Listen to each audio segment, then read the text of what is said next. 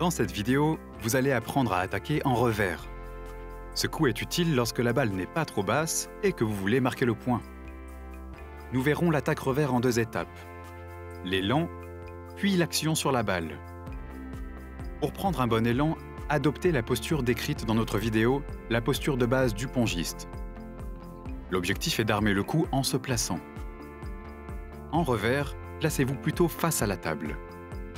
Pour armer, décollez le coude de votre corps et avancez-le devant vous. Prenez de l'élan en conservant la pointe de la raquette orientée vers le côté. Placez-vous en fonction de la balle. Pour frapper la balle, la raquette prend de l'élan en tournant autour du coude. Accélérez votre mouvement pour frapper la balle au sommet de sa trajectoire. Au moment de la frappe, le fouetté du poignet permet d'imprimer encore plus de vitesse. Serrez la raquette entre votre pouce et votre index pour bien frapper la balle. En règle générale, orientez votre raquette vers votre cible. Si la balle est proche du filet, utilisez principalement votre poignet pour lui donner de la vitesse. Après la frappe, pensez à vous repréparer rapidement pour le coup suivant.